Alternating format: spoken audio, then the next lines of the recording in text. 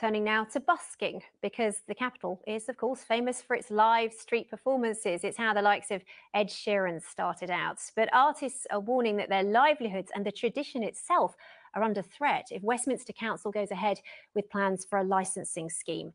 The council says it has thousands of complaints about noise and overcrowding. Wendy Hurrell is in Covent Garden. Wendy, what's the atmosphere like there this evening? Well, they're having fun here. I've been here for most of the day. It's a mostly British crowd. It's a bit more sparse than we'd expect, of course.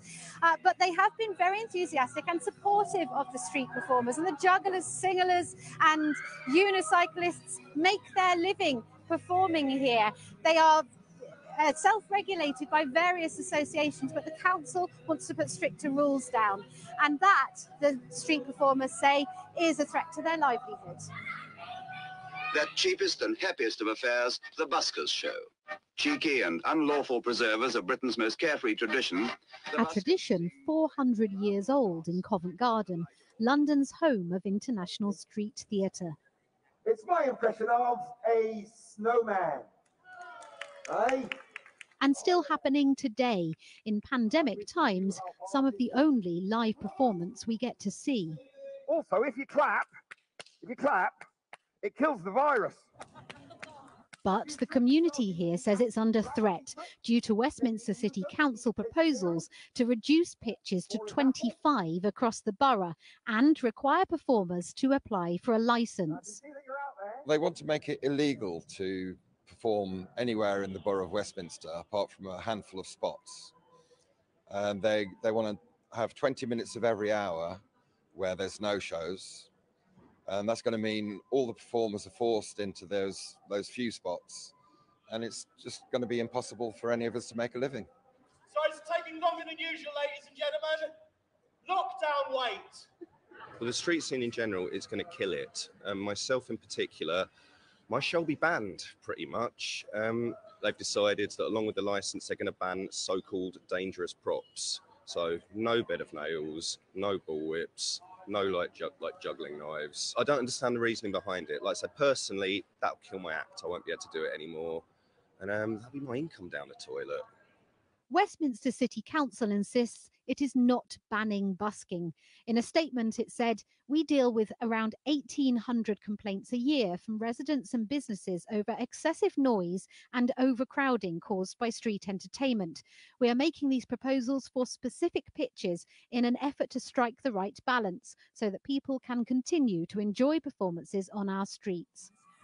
Both the council and entertainers want to know our views. We have until Sunday when the public consultation ends, with any changes coming in next year.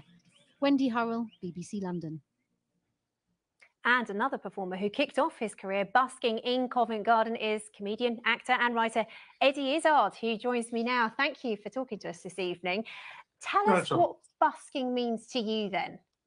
Well, it's street performing, I would call it, because busking is, of course, when the well, you may not know this, but, but when a musician plays and has a traveling audience, and street performing is the performance that we do. That, that where I learned my craft, I was creatively born basically on the streets of Covent Garden. That's why I first learned to do good performing, and I now play you know, Hollywood Bowl, Madison Square Garden, because of what I learned there. And that's not an exaggeration. It's an amazing thing you could learn there. It's amazing skills, amazing entertainment. And I think they did a survey. Guardian Royal Exchange used to own uh, the whole of Covent Garden. They did a survey that said 90% of people like to watch the, uh, the, the street performers or they enjoy the street performers. There's a huge support there. I mean, th- these numbers that Westminster Council are banding around don't compare to the millions or thousands, if not millions of people who are coming and enjoying what, what we do. And people, this criminalizing street performing. And that's what they're going to do. They're going to, it's going to cut it down to only six pitches are going to be with, with uh, amplification. And all these other pitches are just only for standing statues because they're without amplification. So it just really cuts it down and it, and it it's going to criminalise street performing and all that creativity. And you, you, said a lot of people love it. Indeed, they do. Westminster Council though, says it has um, received um, almost 2,000 complaints a year about noise and overcrowding. If not licensing, then how do you how do they tackle it? How do they manage that? Well, it, they've already got they've already got license out. They've also got rules for if people are being excessive with their noise, then they've already got rules to, to, take care of that. So this is these are extra rules they're bringing on top of it. And as you as you saw the gentleman just said before, bed of nails. You know why is that dangerous? Why you know if somebody's juggling knife, they're going to be juggling in the area. The the the audience is standing back. This is something we've done for 400 years. This is a British tradition and people are going, you know, Westminster Council are going against the great creative British tradition. And London is one of the capitals of the world, the great creative capitals of the world. And we're just going to run roughshod over that at, at a time of COVID. Remember, this is a time of COVID. They're sort of bringing this in right at the time when street performers are really struggling, and all performers are struggling. And just briefly, what what are your fears for the future in this in this time? well, they could just stamp it right out. This could just cut it right down to almost nothing. Where very few people can perform, um, you know, if the weather is bad, then you can't perform.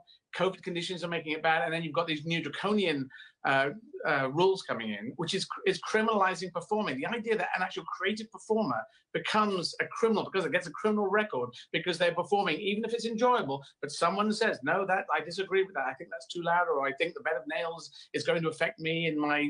I don't know how's that going to affect anyone. Eddie, so it's just uh, we could talk so much further about this, but we must leave it there. Thank you very much for your time this evening.